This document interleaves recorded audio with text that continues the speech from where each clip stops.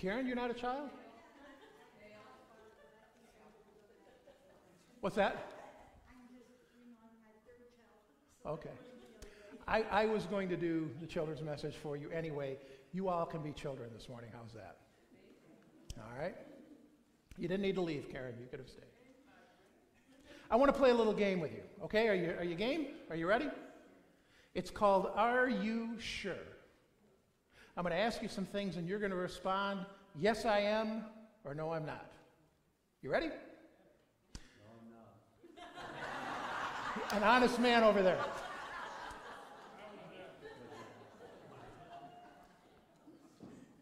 Number one, are you sure the earth is round?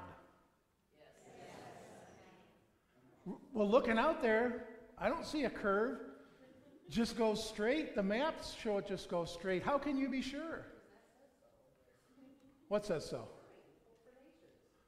Oh, very good. Yes, it's right there. We, we also have pictures, satellite images from above, right, that shows the earth is round. And the Bible tells us it's round. It really does. So we can be sure. When you were growing up, could you be sure that you would be taller than your siblings or taller than your parents? No, no you had no idea. I was younger. My brother was older. For a number of years, he was bigger than me. And then when it came about 14 or 15, I shot up above him. He had a problem with that. He shoved me into the wall to put me in my place. it's a crack in the wall for the longest time. I remember that. We made up. My brother and I were very close. Are you sure the Lions are going to win the football game today, Ron?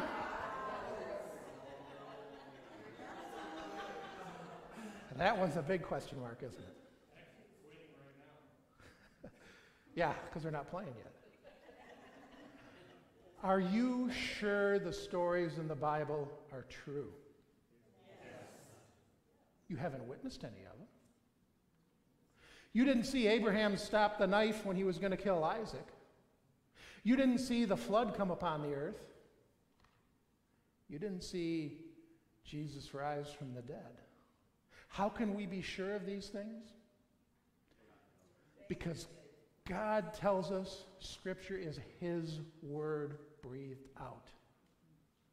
Your life witnesses that there is a God, a gracious God. And that gracious God promises that that is His Word. He is the source of truth, and that Word is truth. Not to mention how many different ways in the world and in archaeology and in history the Bible shows that it is true. Finally, are you sure that Jesus will give you a crown of righteousness on the last day? You're not there yet. You haven't passed. We can be sure because we believe that happened. That Christ went to the cross, died for our sins, and rose again.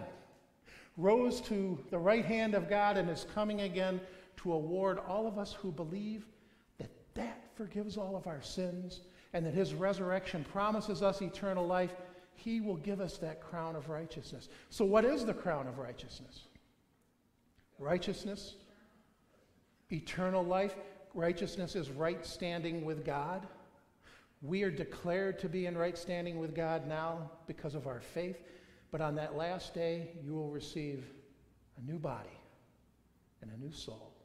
And every hint of sin that still echoes in your life, every bit of that part of Cain that is in you will be gone. You will be perfect as you never have been before. That's the crown of righteousness, and you will live in the presence of God forever, always in right standing with Him and with each other. Perfect love shared among us. And that is a wonderful thing to hold fast to. Let us pray. Dear Jesus, thank you for your gifts of faith and hope and the promise of the crown of righteousness that you hold for us and will give us on the last day. In your name we pray. Amen. Thank you. You guys were a pretty good, you were a pretty good children's message audience. Not quite as good as the ones I have up here, but you're working on it. Are you more sure now? Where's the money? Yeah, I can't hang with Pastor Cottom. No $5 bills to give out. Sorry, guys. We will continue on with our, with our sermon hymn.